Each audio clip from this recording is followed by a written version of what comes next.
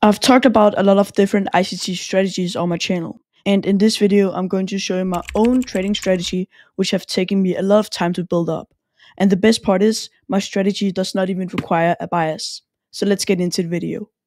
The first thing we have to talk about is what my trading strategy is made of. Now, my trading strategy is made of six different rules, and then we have two extra rules on the sideline. The first rule being we want to see a obvious SMT. And then that is paired with the second rule where we want to see an obvious FVG delivery. But now you may ask, how can we both get a obvious SMT and fair gap delivery? Well, I will get into that later. Third, we want to see an obvious IFVG, and that is kind of paired with the fourth rule. We want to see a obvious draw on liquidity, such as internal range liquidity. Fifth rule, we want to see a singular IFVG, and then the sixth rule, if we want or if we take a IFG on the one minute time frame where we see our setup, but there's a FVG on the two minute time frame, we don't want to stay in that trade. And then the two extra rules, which is not required to trade my trading strategy, is a obvious bias and only trade in high probability conditions. But of course, we want to trade in high probability conditions, right? Well, it depends on what trader you are, because some traders may want to trade in low probability conditions where there are no news, but to them it's kind of high probability conditions. And this may sound a bit confusing, but I will also get into that later in the video. Going into the first example, we can see that price created a SMT. As over here on the left, we have the Nasdaq, and we can see at 952 and at 1014, price made a lower high. And on the S&P 500, we can see at 1012 and at 952, price made a lower low. So right here we have a SMT. Now that we have our obvious SMT checked off, we can move over to the second criteria, which is a obvious FVG delivery. And this may sound a bit confusing, but I will try to explain it at my best. So basically we have our SMT. Now we want to look for a FVG. And if we look over here to the left, we have a FVG and we can see price made a very tiny mohawk into that also creating the SMT from there run higher. So here we have our obvious FVG delivery. But the problem is with this setup, I would say it's A setup, not a A plus, because I prefer to have a higher time frame SMT and then a lower time frame FVG, or vice versa, where we have a higher time frame FVG and then a lower time frame SMT. I don't prefer to have a lower time frame FVG paired with a lower time frame SMT but it still works. So now that we have our two criteria checked off, let's move over to the next criteria. The next criteria is a obvious IFVG. And we can see right after we had that FVG delivery paired with the SMT, price immediately made a IFVG, as we can see within here. And this IFVG is pretty obvious, as we can see. And we also have a volume imbalance paired with this IFVG. And this is not a criteria. But when we have a volume balance paired with a FVG or IFVG, we always mark out the whole range. So if we extend that out, we can see right after price made a close at 10.16, price immediately made a retracement into that IFVG paired with the volume balance. So already we have the third criteria checked off, which is a obvious IFVG. Going into the fourth criteria, which is a obvious draw on liquidity, such as IRL. Now we can see when price made the retracement, if we look over to the left, we have IRL, internal range liquidity. And right after we made the retracement, price immediately swept that IRL. But the problem is, is that when price sweeps liquidity, we know a reversal is anticipated. But if we look over here more to the left, we have created equal highs. So it wouldn't really make sense for price to make a reversal from here, as price have just created equal highs, which is a very strong draw on liquidity. And it wouldn't also make sense for price moving lower, as we already have a FVG delivery and a SMT. So then this becomes a draw on liquidity. And we can see price run out this high, creating a FVG in the middle. So already we have the fourth criteria checked off. The fifth criteria is that we want to see a singular IFVG, and we already have talked about this. As we can see, we have only this FVG to be inversed, and there aren't any other FVGs to lift. And that moves us to the sixth criteria is that when we're trading on the one minute time frame IFVG, we don't want to see a two minute time frame FVG to push price lower. So if we just move up here into two minute time frame and see that we don't have any FVG to push price lower. So that is all the criteria needed checked off. Now let's move over to the extra criteria. So if we just drop down here into one minute time frame again and zoom in, we can see that one of the extra criteria is an obvious bias. And you may have noticed that we have this gray line within here. This gray line is a daily FVG. And this daily FVG have been made to push price higher or have supported price in moving higher. And already here we can see price at 952 made a deep retracement into that daily FVG. Then price came back and failed to reach that daily FVG and instead made a SMT and a lower time frame FVG delivery. So that also kind of clarified the bias that we are mostly bullish. And now we only want trade in high probability conditions. And I see high probability conditions when we have news. But this day we had no news at all. So that's what I meant in the start when it could be different from trader to trader what you consider as high probability conditions. When it comes to taking a trade entry based on this setup, we could either enter at the volume imbalance or at the IFVG opening, and we can see that perfectly lines with the consequent encroachment. Then we want to put our stop loss or exit trade when price makes a close beneath the IFVG, or just put our stop loss at this low or just right here. And then we want to target IRL, but that only makes a 0.8 risk reward ratio. Well, there's something that I have left out for you guys, and that is basically another draw on liquidity that we had. So if we just zoom out, we can see that this high is very interesting. As if we turn on to the kill zones, we can see that this is the London high. And we know that the New York session is going to target other session highs and lows. So then this now becomes our draw on liquidity. And when price take out IRL or this high, then our stop loss would be moved to break even. So then we want to target the London highs. And if we have more position openings or open, then we could take profit at these highs up here. And then our final profit at this high up here. So then price take out the IRL, stop loss to break even, target the London highs. I did also talk about this on my Discord as it was happening, and at 10:22, I took the first picture where price have ran this high, and then I also anticipate that price was most likely going to reach for this London high, as this would be considered as a draw on liquidity, as we can see price is just expanding higher towards a draw on liquidity. And then the final picture, we can see that price did indeed reach that London high. Right here, we can see that price is currently trading higher for the next example, and that price also here on the left created a SMT and also have a FVG delivery. And this is on the 15 minute time frame, so it would be considered as a high time frame SMT and FVG, which is preferred. Now, here on the left, we are on the two minute time frame, which is the lower time frame, and we can see that we have a singular and obvious FVG, which is already four criteria checked off. Price made the retracement to the consequent encroachment, as we can see, algorithmic signature as we know it, reached that internal range liquidity, and is currently also reaching for our drawn liquidity, which is the equal highs and the previous day's high. So if we just move back down here again, you can see right after made the close above it, made the retracement. So if we were to take a trade entry, we would enter at the high of the IVG, put our stop loss in the area where we think price is most likely going to disrespect that IVG or just close the trade entry when price makes a close beneath the IFG. And then we want to target higher prices, which in this case is the equal highs and the previous day's high, which we can see price just ran.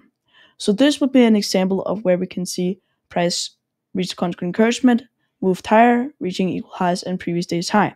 Another example here we can see we have two IFGs actually, but we're just going to look at the second one. We have our SMT down here, and if we just go up here to the five minute time frame, we have our FVG delivery. And here we have a higher time frame FG and a lower time frame SV, SMT delivery. Our drawn liquidity is the internal range liquidity. Now let's see what happens. And we can indeed see that price ran that internal range liquidity now I had to be very fast when recording these examples at the moment they occurred, but now that the AM session is finally done, we can talk about these two examples. So the first example was a pretty good trade, 4.8 risk reward ratio. And if we just move our criteria up here, we can see that we had a obvious SMT. And if I just pull my NQ chart up here, we can see that this was the SMT. So we had a pretty obvious SMT at that moment. Now, we can also see that we have a FVG delivery right here.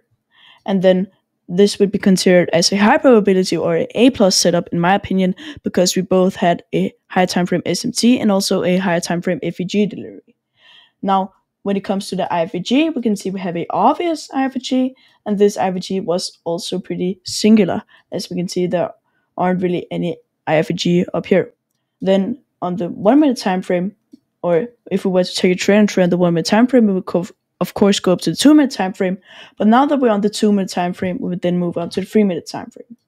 And we can actually see that we had a, if I just draw it out, we had a FVG.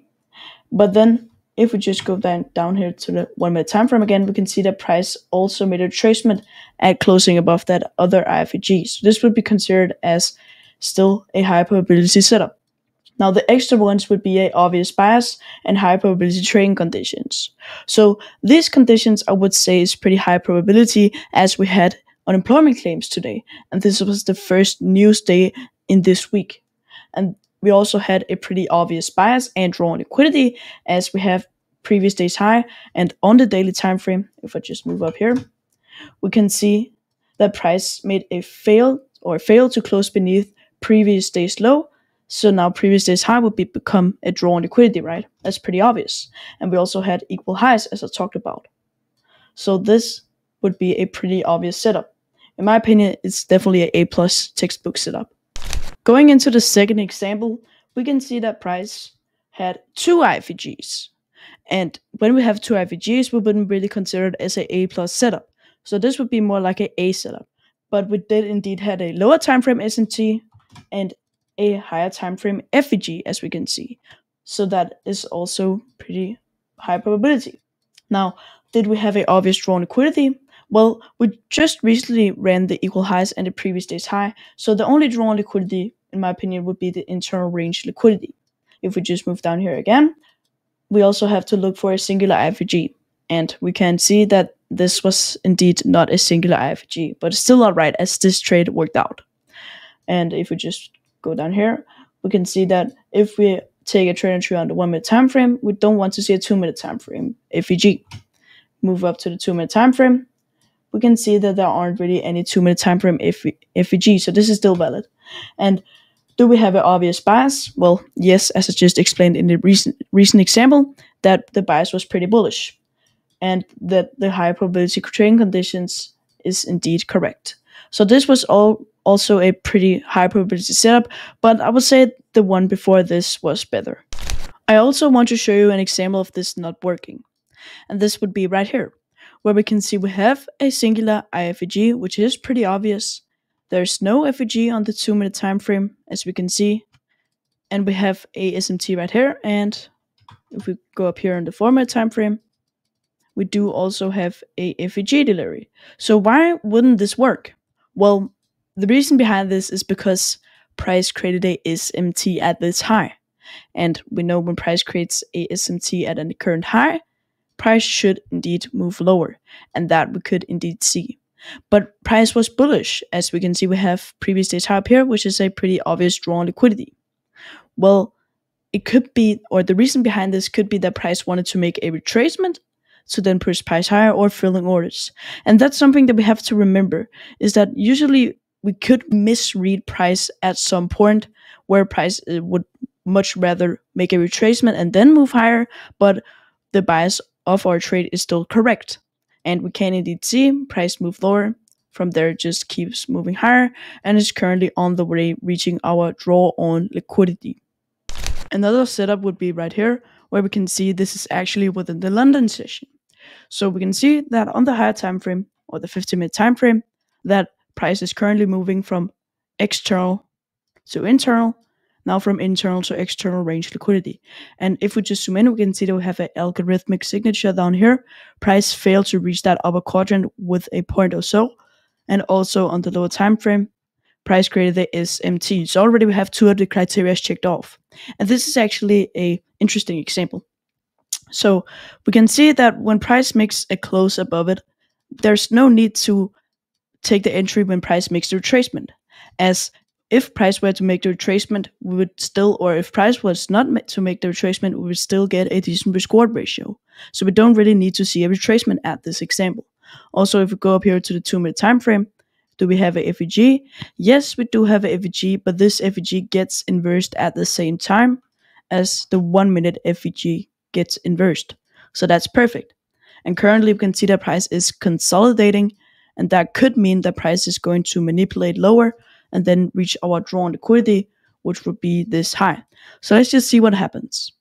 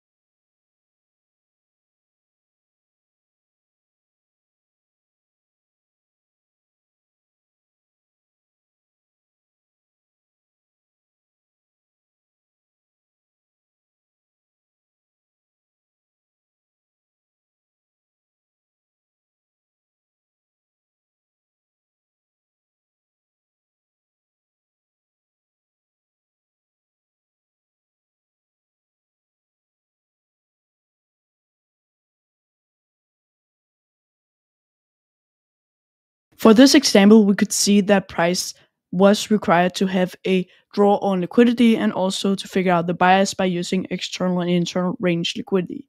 But as I've mentioned in the previous examples, a draw on or a bias is not required when trading this strategy. But we can see that this worked out perfectly right at the end of the London session. Now I just want to put our criteria one last time and we can see that we had a obvious SMT on the one minute time frame and on the high time frame we had a fair value gap which price failed to reach the upper quadrant of. So already we have two of our criteria checked off. Now if we drop down into the one minute time frame and just zoom in we can see that we had a obvious IFVG and what I mean by that is also this was a singular IFVG so when price made a close above it and we were to put our stop loss maybe at this low then it was pretty obvious that this was the only IFVG. So we have four of our criteria checked off, which is a obvious IFVG and also a singular IFVG. Now, the obvious drawn liquidity, such as internal range liquidity or, of course, external range liquidity, was indeed this high up here, which would be considered as external range liquidity. And we can see price ran that high perfectly. So we already have five five of our criteria checked off. And when we went up to the two minute time frame, we could indeed see that we had that IFVG, which also got inversed at the same time as the one minute IFVG. So this was basically perfect. And we did also use a bit of the daily bias or just a bias by using external internal range liquidity. And this was on a Friday. So the conditions was decent.